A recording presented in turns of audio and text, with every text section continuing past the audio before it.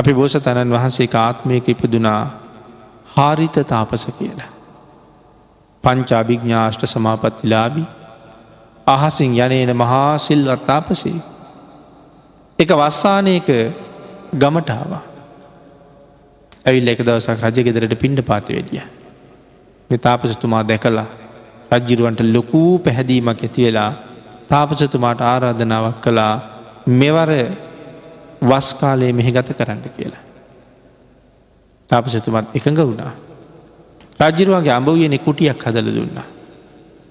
හාරිත තාපසිතුමා උයනෙ තියෙන කුටියට වෙලා බණ භාවනා කරගෙන ජීවත්වෙනවා. වස්කාලි. හැමදාම දානි වලදන්න රජගෙදරට වඩිනවා. එක දවසක් රජ්ජිරුවන්ට අහන්ඩ ලැබුණා රජ්ජිරුවන්ගේ රාජ්‍යයේ ප්‍රත්‍යන්ත දේශයක ටිකක් ඈත පලාතක කැරල්ලක් ඇති වෙලා කියලා. කැරල්ල මර්ධනය කරන්න රජ්ජිරුවන්ට යන්නක ඕන වුණා. රජ්ජිරුව කැරල්ල මර්ධනය කරන්න ගියා. හැබැයි යනකොට රජබිසවට කියල ගියා දේවිය තාපසතුමාගේ දානවේල ඔබේ අතින්ම හැදෙන්ඩුවනේ. සේවකයෝ හදන ආහාර පාන තාපසතුමාට දෙන්න එපා. ඔබම උයල්ල දෙන්න තරම්ම තාපසතුමාට ගරු කරනවා. එනිසා හැමදාම තාපසතුමාගේ කෑමවේල හදන්නේ රජ්ජිරුවන්ගේ අග මෙහිසිය. හැමදාම දං හදල පිළිගැන්වා. එක දවසක් දානය හදාගෙන බලාගෙන හිටිය බලාගෙන හිටිය තාපසතුමා වැඩිය නෑ. උන්වහන්සේ දාන වෙලාවට කලින් වඩීන කියල හිතලා දානටික මේසට ඇරල වහලා තමනුත් නාගන පිරිසිදු වෙලා ඉතාම දුහුල් ඇඳුමක් ඇගේ දාගත්තා උන්වහන්සේ ආපුහම ඇඳුම් මාරු කරගෙන යනවන කියලා චුට්ටක් ඇඳේ ඇල වුණා. නින්ද ගියා.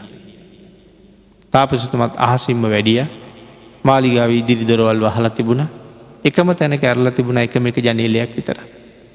උන්වහසේ අහසින් වඩින ගමම්ම ඒ ජනේලගාවට වැඩිය. හැබැයි ජනේලගාවට තාපසතුමා ලංවෙන්ඩ ලංවෙන්ඩ උන්වහන්සගේ සිවුර මේ හුළඟට ගැටෙන හඬ රජ දේවයට ඇහුණා. තාපසතුමා වඩිනවා වෙන්ඩෙයි කියලා කලබල වෙලා එක පාරම නැගිටිනකොට තාපසතුමත් හිටියේ ජනේලගාවමයි. දුහුල් ලැඳුමක් ඇගේ දාගෙන හිටියේ එක පාරම එක ගැලවිල්ලා බිමටම වැටුණ. ස්ත්‍රී ශරීර අවයාව තාපසතුමාට දකිින්ට ලැබු.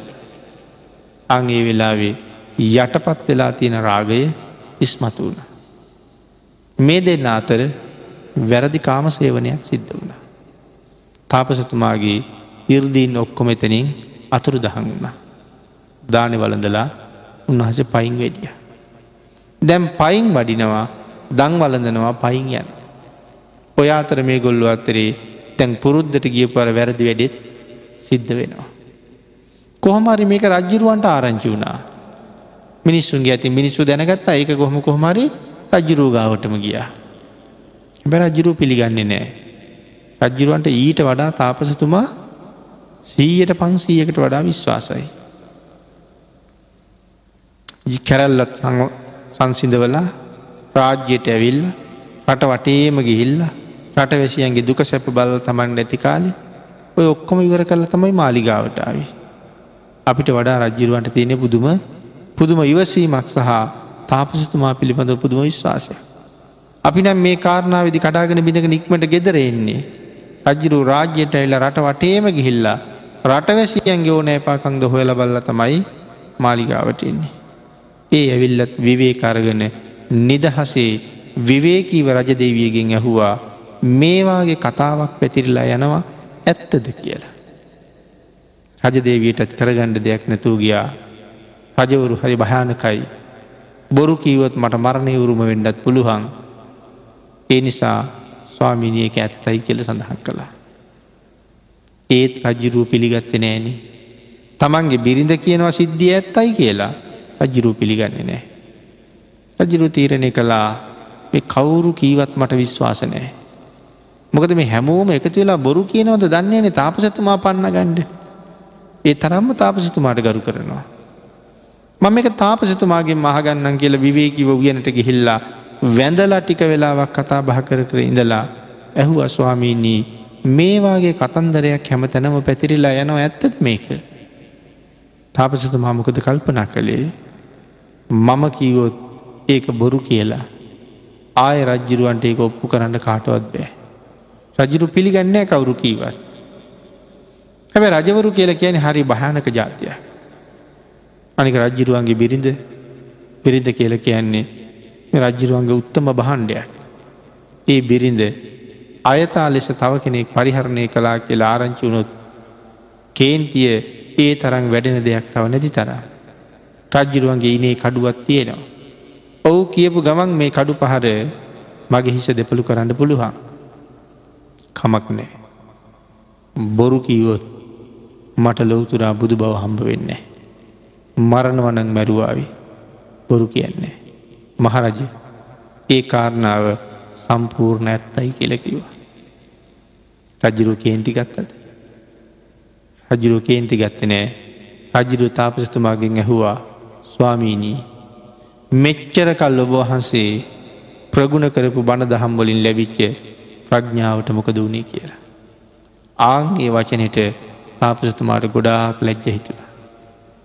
එහෙම් මම බිම් බලාගෙන කුටියට ගියා. කසින මණ්ඩල එලියට ගත්තා. ඒක දිහා බලාගන්න භාවන වැටවා. පංච අභිග්ඥාෂ්ට සමාපත්ති නැති වෙලා තිබිච්ච සියලුම දිහානයන් නැවත සිල් පිරිසිදු කරගෙන උපදවා ගත්තා. රජ්ජුරුව තාමත් අර හිටපු තැන. තාපසතුමා එතනින් මහසට පැන නැංග. පැන්න කළ රජ්ජුරුව ගාවට අහසිම් ඇවිල්ලෙක්ව මහරජය නොයායුතු තැනකට ගියපු නිසා මට වැරදුනා. ආය කවදාවත් මනුස්සවාසයට එන්නේ. රජ්ජුරුව වැඳගෙන අන්ඩ අඩා කියනවා ස්වාමීනී යන් දෙපා ස්වාමිනි යන් දෙපා මන්දාල යන් දෙපා කියලා. ඒ කීවට සඳහන් කළා නොගැලපෙන තැනකට ආපු නිසයි මට වැරදුනේ. ඒ නිසාමා යන්න මෝන කියලා අහසිම්ම යන්න ගිය. හිමාලිට ගිහිල්ලා මුළු ආයු කාලෙම නැවත වතාවක් හිමාලි ජීවත් වෙලා අපවත් වෙලා ගිහිල්ල බඹලෝ උපත්තිය ලැබවා. නමුත් මරණයට ජීවිතය අත හැරියා රජවරු බොහොම භයානකයි කඩු පහර මගේ හිස කඳින් වෙන් කරන්න පුළුවන් නමුත් බොරු කීවොත් මට ලොවතුරා බුදු බෝ ලැබෙන එකක් නෑ.